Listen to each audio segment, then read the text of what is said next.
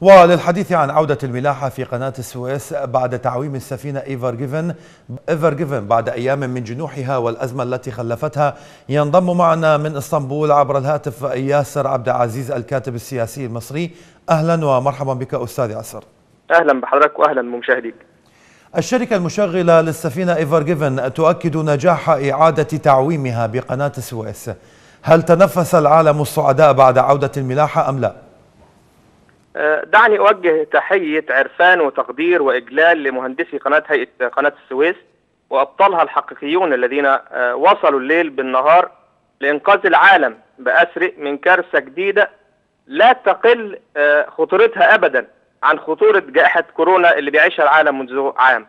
المهندسين المصريين رفعوا اسم مصر بعد أسبوع الأحزان اللي مصر عاشته من من حرق في في في في أحد المحطات القطارات وثم حادث قطار ضخم اودى بحياه العشرات ثم عدد من العقارات اللي هدمت ومن ثم راح ضحيتها عشرات الأبرياء. النهارده المهندسين المصريين أدخلوا الفرحة من جديد ليس على قلوب المصريين فقط ولكن على قلوب العالم كله ومن ثم فعلا المهندسين المصريين أنقذوا العالم من كارثة كبيرة جدا لا تقل عن الكوارث الاقتصادية اللي عاشها العالم خلال السنوات الماضية.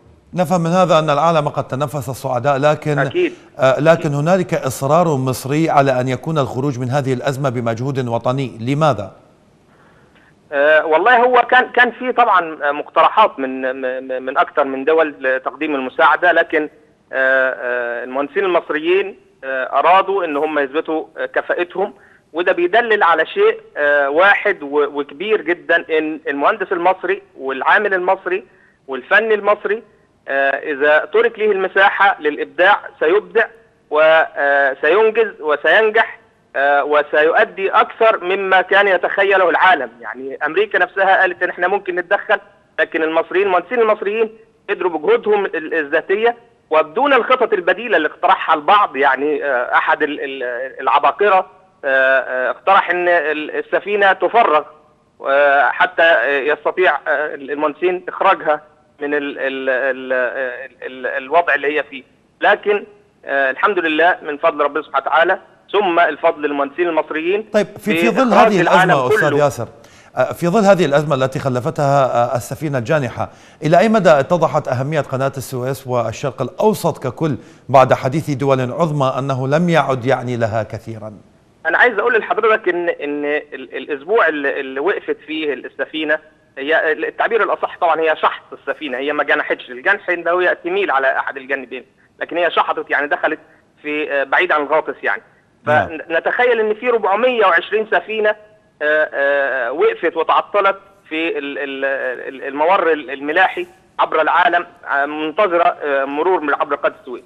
عايز أقول لحضرتك إن خسائر التجارة العالمية خلال هذا الأسبوع فقط وبالأرقام الإحصائية 10 مليارات دولارات 10 مليار دولار نعم. ده بحسب شركة ايلنز الألمانية فتخيل قد إيه حجم التجارة والخسائر أنا عايز أقول لحضرتك إن الأهمية الاقتصادية لقناة السويس تكمن في 12% من تجارة العالم بتمر من خلال هذه من هذا الممر.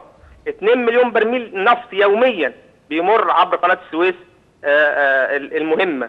8% من غاز العالم بيمر من هذا الممر الهام جدا. لكن الآن نسمع بعض البدائل من من بالكلام عن هذه البدائل أستاذ ياسر إيران تقترح تفعيل خط ملاحي يمر من إيران ليكون بديلا عن قناة السويس.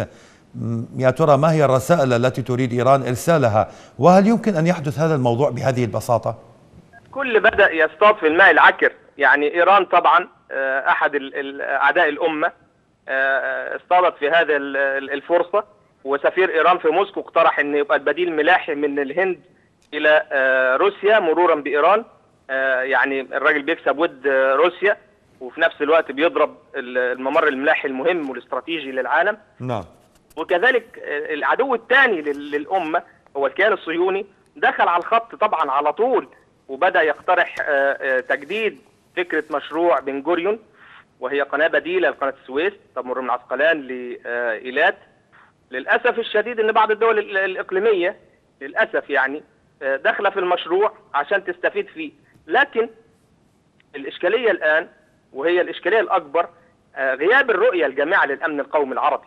يعني هذه الرؤية إذا آه، آه، توحدت كما كانت آه، في السابق لا آه، الكل اعترض على هذه المشاريع سواء من إيران أو من الكيان الصهيوني لأن وجود القناة هي ورقه ضغط كبيرة للأمة العربية لأنها ت- ت- تساوي يعني آه، آه، قنبلة نووية و- و- وعلينا إن إحنا نفتكر وقت ما أغلقت القناة أيام الحرب مع الصهاينة كان وضع ال- ال- ال- العالم كله عامل إزاي؟ أمريكا العظيمة نعم. ركعت أمام إغلاق هذا ال- ال- الممر المائي المهم. ال- الكاتب السياسي المصري ياسر عبد العزيز كنت معنا عبر الهاتف من إسطنبول شكرا جزيلا لك على انضمامك إلينا